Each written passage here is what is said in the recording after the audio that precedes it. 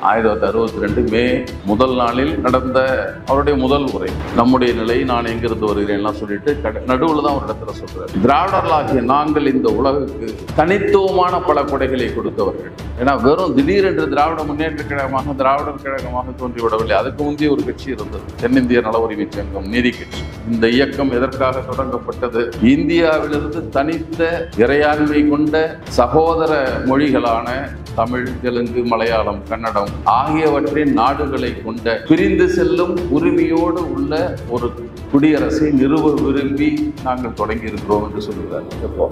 ஆயிரத்தி தொள்ளாயிரத்தி பதினேழுல எல்லா ஆரியர்கள்லாம் இல்லை. இன்னும் உண்மையான ஆரியர்கள்னு சொல்றதுக்கு ஆள் இல்லை. பெரியாரே சொல்லுவார். இங்க இருக்கிற பார்க்கனெல்லாம் மத்திய ஆசாவிலிருந்து வந்த ஆரியர்களின் நேரடி வாரிசுகள் என்று நான் சொல்ல வரவில்லை. நம்மால் கிண்டல் பண்ணும்போது திரௌபதி கதை எழுதிட்டாங்க. சாமியா அஞ்சு பேர் கல்யாணம் பண்ணிட்டு இருந்திருக்கிறார். ஒரு பொம்பளை அஞ்சு பேரோட வாழ்ந்திருக்கிறார். கதையை வர எழுதிட்டு நியாயப்படுத்தினார்.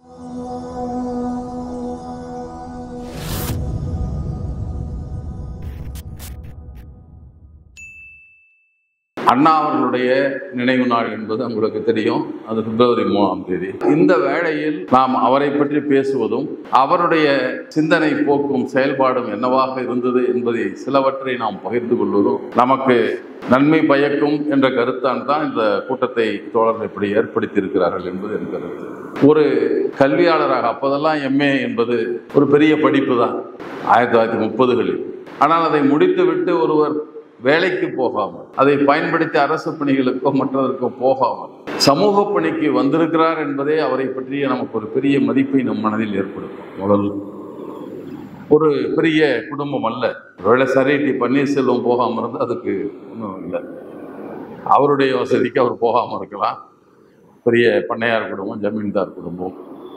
ஆனால் இவர் அப்படி இல்லை. எளிய குடும்பத்திலிருந்து வந்து முதுநிலை கல்வியை முடித்த பின்னால் தான் அரசியலில் சமூக பணியில் வந்து செயல்பட வேண்டும் என்ற எண்ணம். அது பெரியாரிடம் வந்த பின்னால் வந்தது என்று கூட நான் சொல்ல மாட்டேன். ஏன்னா பெரியாரை அவர் சந்திப்பதாக நாம் குறிப்பிடுவது என்பது ஆயிரத்தி தொள்ளாயிரத்தி முப்பத்தி நாலில் திருப்பூரில் நடக்கிற செங்குந்த மாநாடு இரண்டாவது வாலிபர் மாநாடு என்று நடக்கிறது. முதல் நாள் அவங்க மாநாடு ரெண்டாவது வாலிபர் மாநாடு. அந்த மாநாட்டில் பெரியார் உரையாற்றுகிறார் தலைப்பு அவர் கொடுக்கப்பட்ட தலைப்பு சமதர்மம்.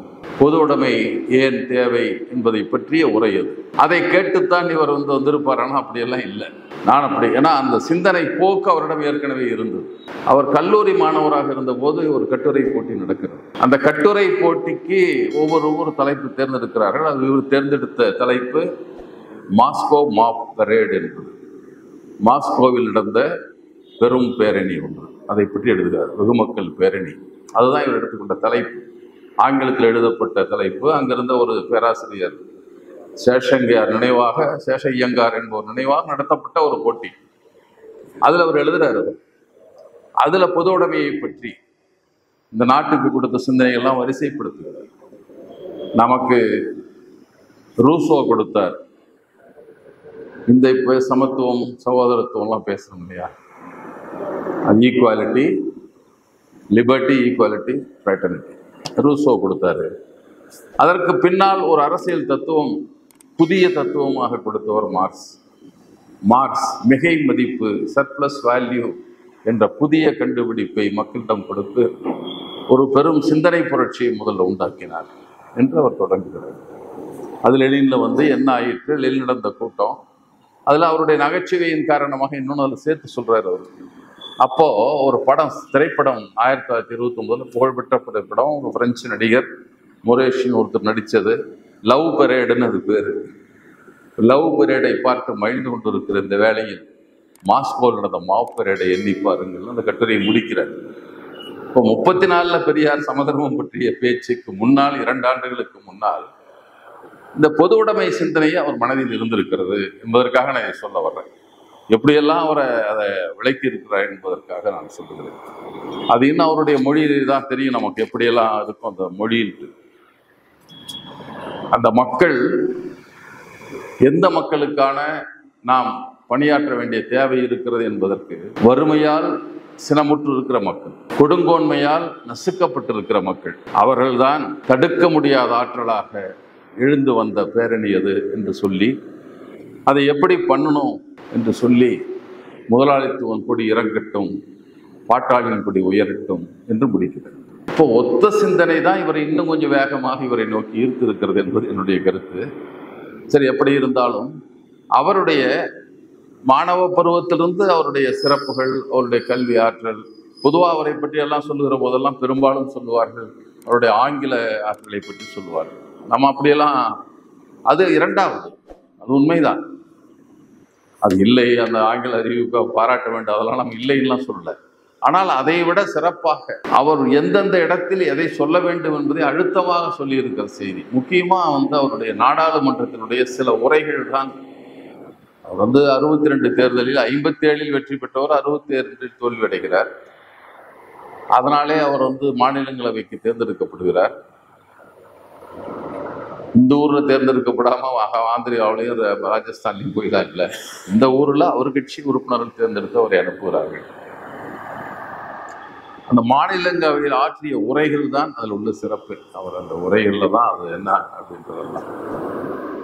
அந்த ஒவ்வொரு இடத்திலும் முதல் உரை அது மே முதல் நாளே ஒன்றாம் தேதி தான் நடக்குது. ஆயிரத்தி தொள்ளாயிரத்தி அறுபத்தி ரெண்டு மே முதல் நாளில் நடந்த அவருடைய முதல் உரை. ஆங்கிலத்தில் சொல்ற சொல் நம்ம உடன்பாடான சொல் இல்லை கன்னி உரையெல்லாம் இல்லை. முதல் உரை அதுதான். அந்த சொல்ல நமக்கு வேண்டாம். அந்த சொல் நமக்கு. முதல் உரையில் அவர் சொன்னார். பல செய்திகளை பேசுறார். முதல்ல எடுத்த உடனே அதை சொல்லிடல. நம்முடைய நிலை நான் எங்கிருந்து வருகிறேன் எல்லாம் சொல்லிட்டு கட நடுவில் தான் ஒரு இடத்துல சொல்றாரு. அப்போதான் சொல்றாரு I belong to the Dravidian stock அது அப்போதான் சொல்றாரு. நான் திராவிட இனத்திலிருந்து வருகிறேன். திராவிட இனத்தில் என்று சொல்வதில் நான் பெருமை கொள்கிறேன். அதற்காக நான் மராத்தியோ குராஜா குஜராத்தியோ வெறுத்தவன் அல்ல. அவங்க தான் நண்பர்கள் தான் இருக்கட்டும். ஆனால் திராவிடர்களாகிய நாங்கள் இந்த உலகுக்கு தனித்துவமான பல கொடைகளை கொடுத்தவர்கள் சிறப்பான ப- பங்களிப்பை கொடுத்தவர்கள் என்ற பெருமையோடு உங்கள் முன்னின்று பேசுகிறேன்.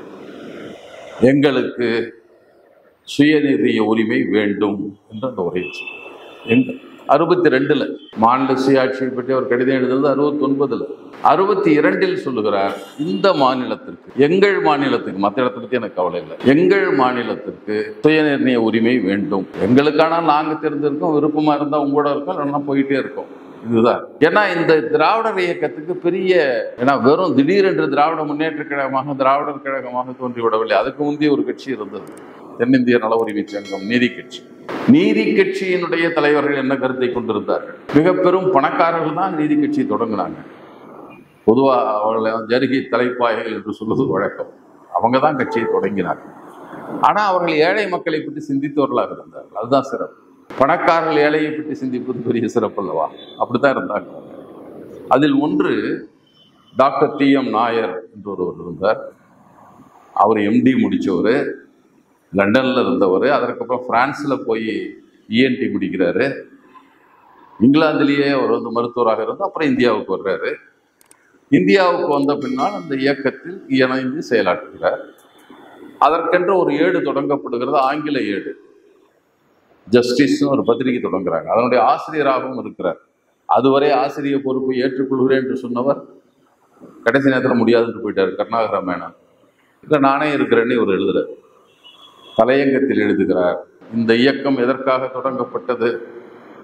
இது இந்தியாவிலிருந்து தனித்த இறையாண்மை கொண்ட சகோதர மொழிகளான தமிழ் தெலுங்கு மலையாளம் கன்னடம் ஆகியவற்றின் நாடுகளை கொண்ட பிரிந்து செல்லும் உரிமையோடு உள்ள ஒரு குடியரசை நிறுவ விரும்பி நாங்கள் தொடங்கி இருக்கிறோம் என்று சொல்லுகிறார். எப்போ? ஆயிரத்தி தொள்ளாயிரத்தி பதினேழில். பெரியார் ஆயிரத்தி தொள்ளாயிரத்தி முப்பத்தெட்டில் சொன்னார். ஆயிரத்தி தொள்ளாயிரத்தி பதினேழில் நீதி கட்சி அந்த கருத்தை சொல்லி இருக்கிறது. தலையங்கத்தில் டி எம் நாயர் எழுதுறது அப்போ அவர்களுக்கு எப்போதும் வட இந்தியர்கள் அல்லது ஆரியர்கள். எல்லா ஆரியர்கள்லாம் இல்லை. என்ன உண்மையான ஆரியர்கள்னு சொல்றதுக்கு ஆள் இல்லை. பெரியாரே சொல்லுவார். என்ன தப்பா நினைச்சிட்டு சொல்றான்? இங்க இருக்கிற பார்ப்பனர்லாம் மத்திய ஆசாவிலிருந்து வந்த ஆரியர்களின் நேரடி வாரிசுகள் என்று நான் சொல்ல வரவில்லை. அப்படிதான் சொல்றாரு. ஏன்னா குறைவான பெண்களோடு வந்தார். இந்த நாட்டு பெண்களைத்தான் திருமணம் செய்து கொண்டார். நம்மால் கிண்டல் பண்ணும்போது திரௌபதி கதை எழுதிட்டாங்க. சாமியா அஞ்சு பேர் கல்யாணம் பண்ணிட்டு இருந்திருக்கிறார். ஒரு பொம்பளை அஞ்சு பேரோட வாழ்ந்திருக்கிறா கதையை வேற எழுதிட்டு நியாயப்படுத்தினார்.